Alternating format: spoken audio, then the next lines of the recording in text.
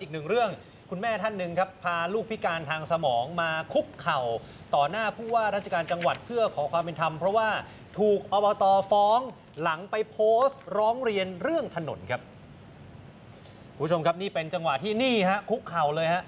ผู้หญิงอายุ 59 ปี มาพร้อมลูกชายวัย 16 ปีที่ป่วยพิการทางสมองและโรคลมชัก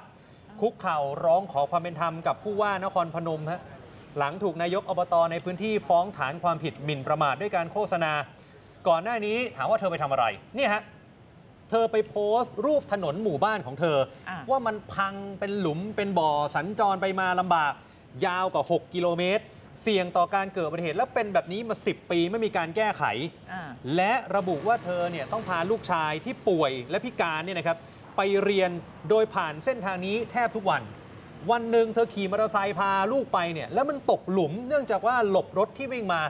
ลูกที่ป่วยอยู่แล้ว ตกรถได้รับบาดเจ็บ ก็เลยเอามาโพสต์ หวังว่าจะได้รับการแก้ไข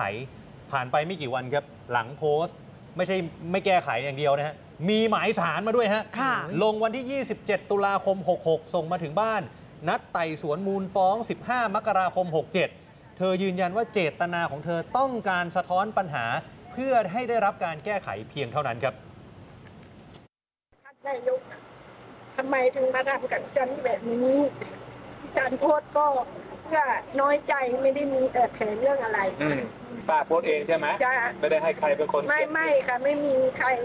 ป้าน้อยใจที่ลูกตกรถวันนั้นจะพาลูกมาโรงพยาบาลที่หมอนัดพอดีรถใหญ่วิ่งมา ป้าก็หลบหลุม รถตกหลุมลูกก็ตกรถพอดีจ้ะก็เลยกลับมาจาก ผู้ว่าก็เลยให้ศูนย์ดำรงธรรมจังหวัดนะครับ ตรวจสอบข้อเท็จจริง แล้วก็ประสาน 2 ฝ่ายมาไกล่เกลี่ยกันนะครับ ล่าสุดนายกอบตอ่าเมื่อช่วงเที่ยงเราบอกว่าท่านไม่ให้สัมภาษณ์ใช่ไหมฮะ ค่ะ ล่าสุดยอมให้สัมภาษณ์แล้วนะครับ บอกว่า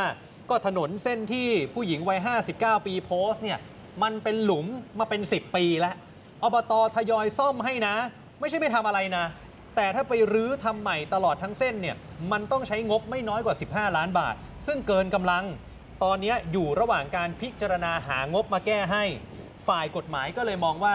การที่ผู้ร้องเรียนไปโพสต์แบบนั้นเนี่ยอาจจะทำให้ชาวบ้านเข้าใจผิดว่าอบตไม่ทำอะไร ไม่พยายามซ่อม และอาจจะมีคนอื่นที่ไม่หวังดีเนี่ยเอามาโจมตีทางการเมืองก็เลยฟ้อง ไม่ให้คนอื่นเอาแบบอย่างตั้งใจว่าไม่ได้จะเอาผิดชาวบ้านอยู่แล้ว พร้อมจะไกล่เกลี่ยยอมความครับ ซึ่งทางอบตก็ไม่ได้นิ่งนอนใจก็